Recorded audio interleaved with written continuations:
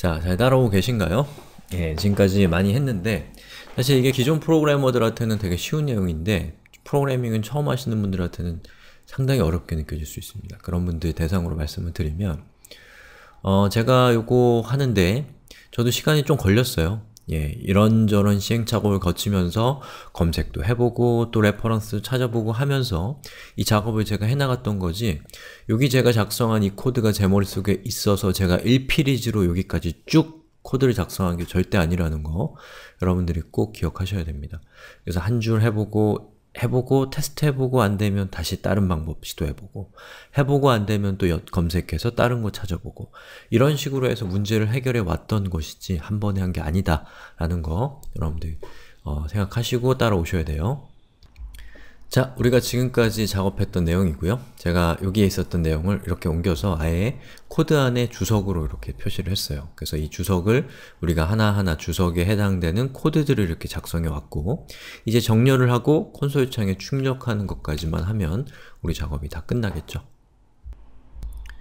자, 그럼 이제 정렬을 하는 작업을 할 건데요. 자, 우리가 counted word라는 객체를 만들었는데 이 객체는 어... 정렬을 할 수 있는 형태의 이 그릇이라고 할 수가 없어요. 자, 여기 제가 두 개의 데이터 형식을 이렇게 열거해 봤는데요. 자, 하나는 객체고요. 하나는 배열입니다. 자, 객체의 경우에는 이 object라고 하는 하나의 큰 상자 안에 이렇게 두 개의 방이 있어요. 하나의 방의 이름은 name이고요. 또 하나는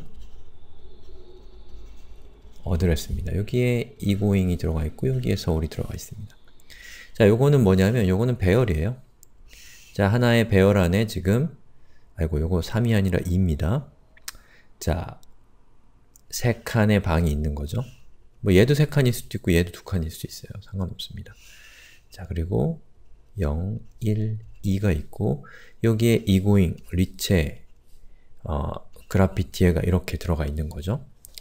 자, 여기에서 음, 객체와 배열의 아주 큰 차이점은 배열은 여기에 있는 각 방의 이름이 숫자로 지정되어 있다라는 특성을 갖고 있습니다. 그 얘기는 뭐냐? 순서가 존재한다는 거예요, 순서가. 하지만 여기에 있는 객체는 각각의 방의 이름이 숫자가 아니라 이름이에요. name이나 address와 같은 이름이라는 겁니다. 자, 이런 이름을 가지고 있는 여기에서 E가 먼저인지 S가 먼저인지 알 수 있나요? 알 수 없죠. 즉, 순서가 없습니다. 순서가. 순서 없이 저장된 것이 객체이고요. 순서를 가지고 저장된 것이 배열입니다. 자, 근데 현재 우리는 어떻게 처리를 하고 있냐면 음, 우리가 counting한 단어별로 counting한 것을 객체에 저장을 했어요. 근데 객체는 순서가 없죠. 순서가 없는 상태고요. 우리가 하려고 하는 것은 각각의 카운팅의 숫자별로 그것을 정렬하려고 하는 거예요. 정렬. 정렬. 자, 정렬이라는 건 다른 말로는 뭐겠어요? 순서대로 나열한다 라는 뜻이죠. 그런데 객체는 순서가 없기 때문에 이 순서대로 나열하기에는 적합한 컨테이너가 아닙니다. 적합한 그릇이 아니라는 거예요. 그럼 우리는 뭘 어떻게 하면 될까요? 바로 이 객체에 있는 내용을 객체에 있는 내용을 배열화를 시키면 되겠죠.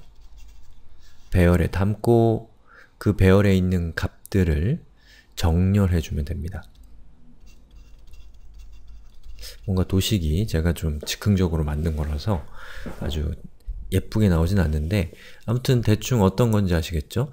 객체는 순서가 없고 객, 배열은 순서가 있어서 정렬이 가능한데 우리는 어, 객체에다가 카운팅을 담았는데 그렇기 때문에 배열로 담고 그 다음에 정렬하면 끝이라는 얘기입니다. 자, 다시 한번 코드로 돌아가서 제가 조금 더 배열에 대해서 설명을 좀 드리는 게 좋을 것 같습니다. 자 우선 a는 arr이라는 배열이 있어요. 그럼 이 배열에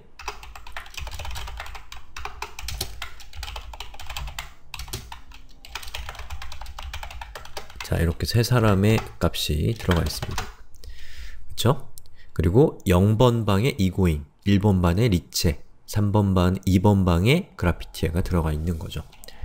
자, 이 상태에서 여기에 있는 사람들의 이름의 순, 이름을 순서대로 정렬을 해보고 싶으면 어떻게 하면 되나요?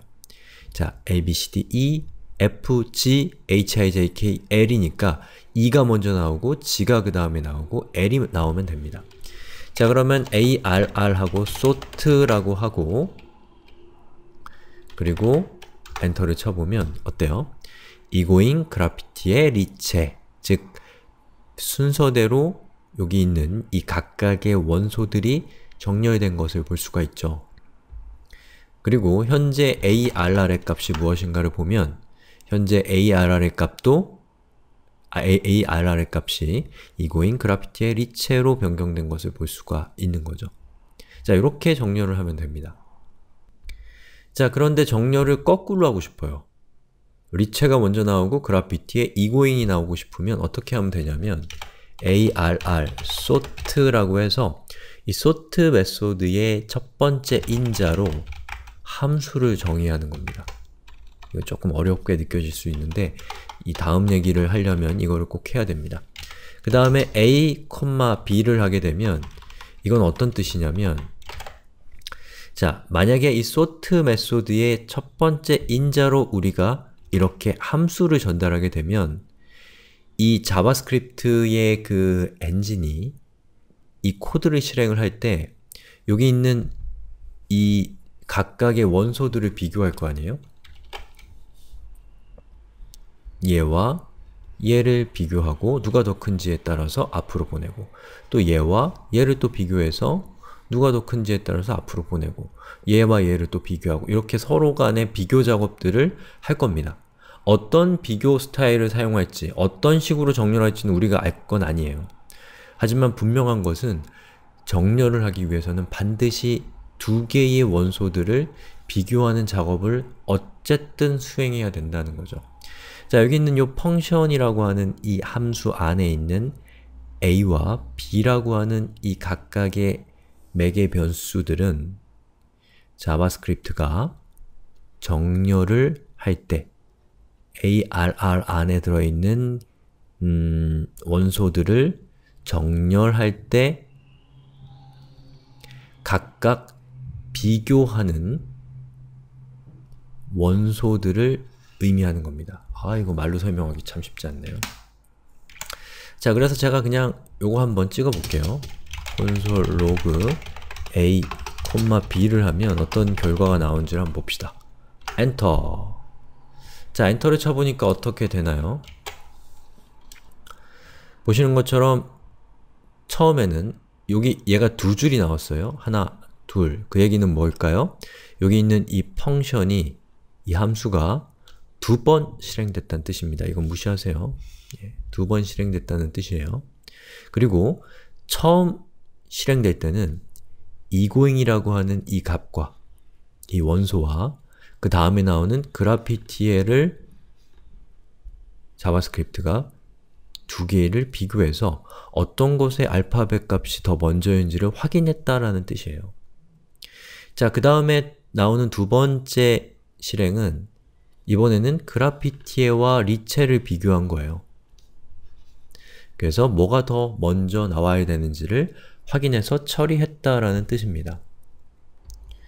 자, 여기에서 제가 만약에 이 배열에 좀 더 많은 값을 줘볼까요?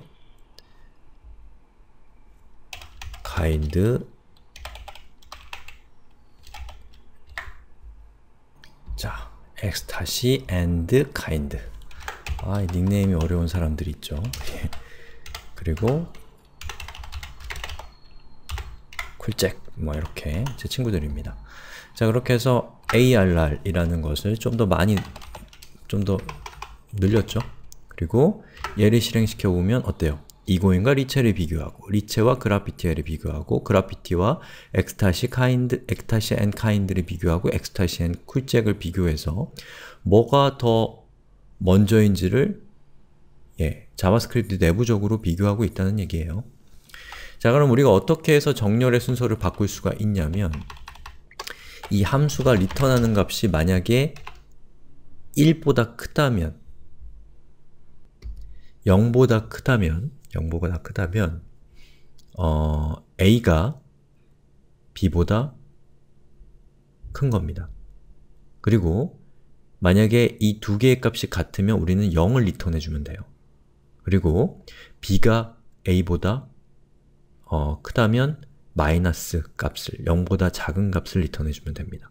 자, 그렇게 하려면 이렇게 하면 되죠. 만약에 우리가 그 글씨, 글자 수가 긴 거에 따라서 정렬하고 싶으면 아 이거 설명이 쉽지 않네요. a.length 빼기 b.length라고 하고 enter를 한번 쳐볼게요. 어때요? 뒤로 갈수록 긴 닉네임이 나오고 있죠? 만약에 여기 있는 요 마이너스를 플러스로 바꾸면 어때요? 긴 닉네임이 앞으로 오고 있습니다. 자, 이런 식으로 어, sort라고 하는 method의 인자로 우리가 어떤 특정한 함수를 지정을 하게 되면 그 함수, 그 JavaScript가 저 함수를 호출해서 그 함수가 return하는 값에 따라서 어떤 원소를 더 먼저 더 앞쪽에 배치하고 어떤 것을 저 뒤로 배치할 것인지를 이것을 이 함수가 return하는 값을 기준으로 해서 판단할 수 있게 된다는 겁니다. 우리는 이것을 이용해서 word count를 그, 문, 그 정렬을 해보려고 하는 거예요. 자, 이번 시간에는 배열에 대해서 설명하다가 시간이 다 가버렸네요. 자, 이거 괜찮아요? 예, 충분히 우리가 이런 부분에 대해서 확인을 하고 넘어가야지 그 다음 내용을 이해할 수 있는 거기 때문에 불가피한 겁니다. 자, 다음 시간에 우리가 지금 알게 된 이러한 것들을 결합해서 어, 객체 안에 담겨있는 값을 객체를 배열로 만들고 그 배열을 정렬하는데 그때 이렇게 함수를 정의해서 정렬을 하는 것까지 다음 시간에 진행하도록 하겠습니다.